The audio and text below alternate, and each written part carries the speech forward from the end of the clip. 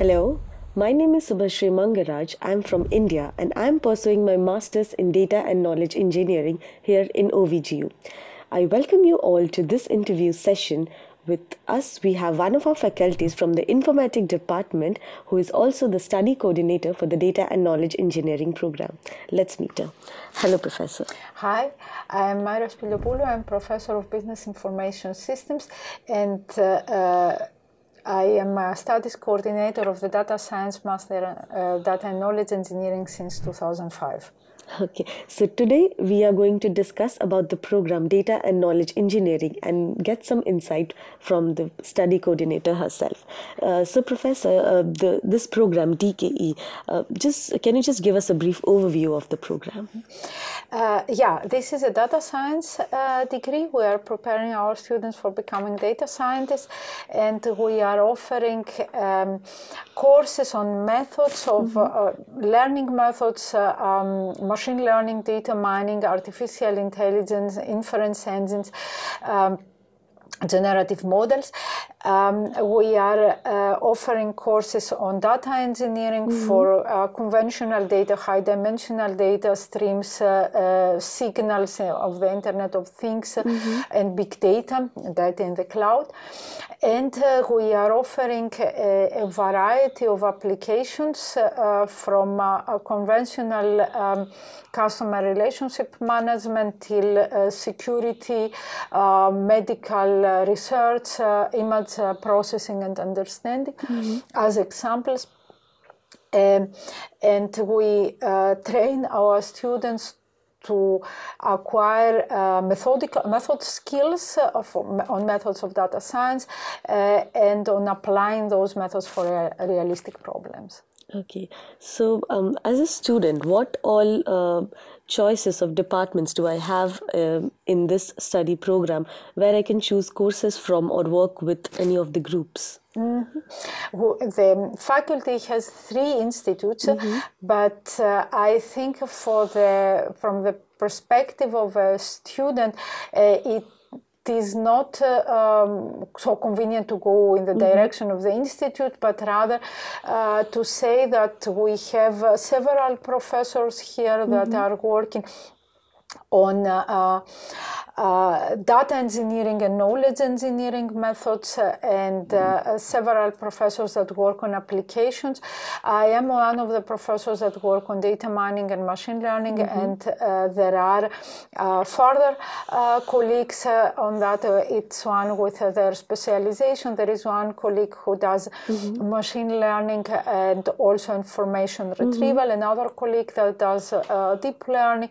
There is a colleague that does computer uh, com computational intelligence and swarm intelligence mm-hmm. and uh, so on. And then, of course, we have colleagues that do databases mm-hmm. and data engineering, big data, um, data in the cloud.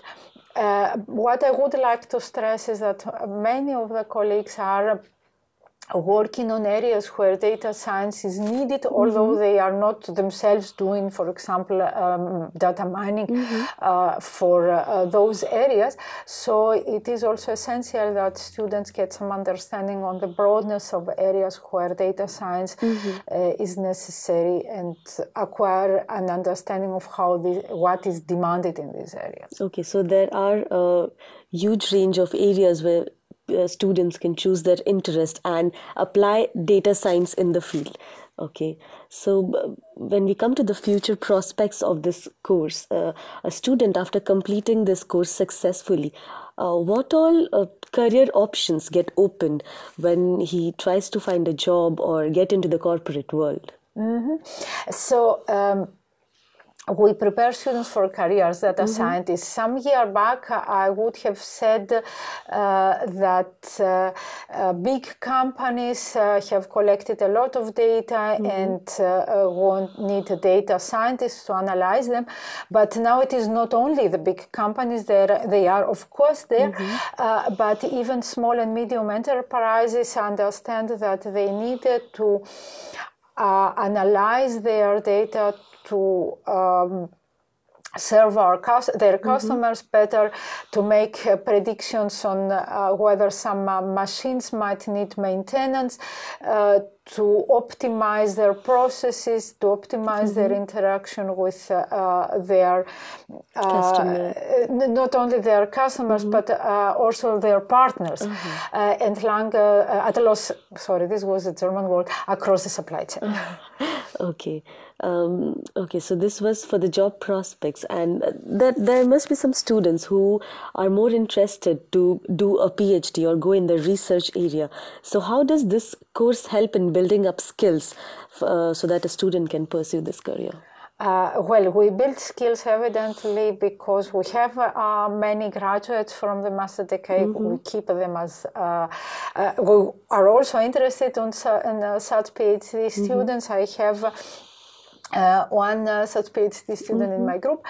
Um, and uh, we have a research orientation mm-hmm. um, at several levels. Uh, for example, uh, the master thesis has to contain some part of research, mm-hmm. but this starts earlier. Um, we have an instrument that is called team project, mm-hmm. or at least one team project is obligatory mm-hmm. part of the degree. And in this team project, students work as a team mm-hmm. uh, where they have to uh, at least apply methods of data science and sometimes mm-hmm. also develop new methods to solve a realistic problem. Mm-hmm. Um, often with often with real data, and this is typically from uh, the research of the teacher of the professor mm-hmm. at whose group they do the project. The project. Mm-hmm. Yes. And um, the regarding seminars or um, any research oriented courses. So how how these are uh, uh, there, there, are uh, seminars um, where students um, learn, learn to read mm-hmm. and critically appreciate scientific literature, literature. Recent, very recent mm-hmm. scientific literature in the subject. sometimes there are dedicated seminars on that or there are some dedicated seminars on that, and there are also such uh, there are also courses, typical courses where mm-hmm. th- there is very recent literature. I have, for example, a seminar where students uh, act as reviewers. They re- okay. learn to review uh, papers, find uh, what are the advantages of a paper, mm-hmm. what are the shortcomings of a paper as well, and compare papers to each other. This is okay. something that is needed mm-hmm. in the master thesis, and it is not only needed if one does a PhD, it is also needed if one uh, is asked to compare methods and choose one mm-hmm. for a real mm-hmm. problem in a company. Okay. Okay, so um, as a master student here in DKE, uh, what would be the planning or the strategy that you would suggest me so that I complete this degree in a stipulated time and successfully? Um, have a plan and uh, be curious to learn new things mm-hmm. and uh, uh always have uh, some estimate of what you already can mm-hmm. and what sort of background you need for the next mm-hmm. step. We have uh, more advanced and more basic mm-hmm. courses. Typically, the second are. Uh, less exciting but necessary for the mm-hmm. more advanced ones. Uh, so, um, plan uh, to make the less advanced course uh, 1st mm-hmm. and also look broadly at what the faculty offers and what fits your interest. Interest. So uh, basically, uh, after maybe somewhat choosing my area of interest, I should build my fundamentals and then go for advanced courses or projects in it. Yeah. Yeah, uh, we have uh, made very recently a change uh, of uh, the degree. Mm-hmm. Uh, none of the current students is uh, experiencing it because it mm-hmm. starts in the next semester. Okay. Where we have much less of fundamentals and the other areas Okay. are broader. So we have some very basic fundamentals that we retain. Um, but even in each of the areas, for example, uh, for learning algorithms, there are some that are less advanced than others. The less advanced have to be first so that one uh, builds a groundwork for, for, the, for the more learning. advanced ones. Okay. Um, do we have any prerequisites to uh, go into or to attend the DKE program or any mandatory or recommended? Yeah, uh, we have the mandatory prerequisites, which are um, admission pre- prerequisites. We expect a degree in that in computer science or um, related domain. This means at least ten courses in computer science and databases as mandatory additional course. And we do expect familiarity uh, with those subjects. Uh, there are many ways of implementing computer science.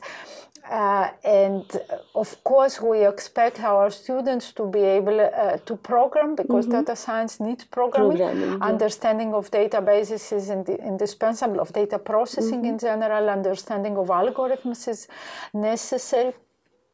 Uh, by and understanding of statistics. We do not teach statistics. We expect that the students have had uh, um, some uh, statistics from uh, uh, their previous studies.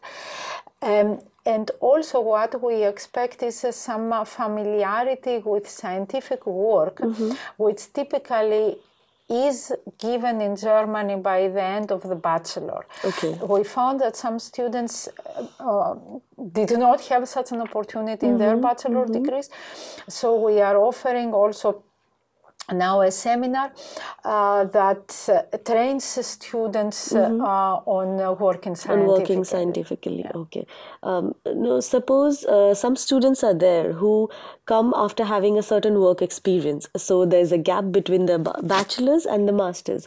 So if they want to gain knowledge about for example statistics so do so can they just go and uh, attend classes of those department to not as part of the degree. Okay. They have uh, uh, to familiarize with some subjects, but of course there are uh, readings for um, understanding the basic uh, things. Uh, the degree is not designed uh, uh, designed for uh, practitioners, Okay. But uh, some of our students uh, have been practitioners in the past, so they studied, then they get, went to a company, and then they came back to learn to, to the To study, school, to, yeah. to the university to study uh, data science. Um, they have more skills, let's say, in uh, programming and Mm-hmm. working with data.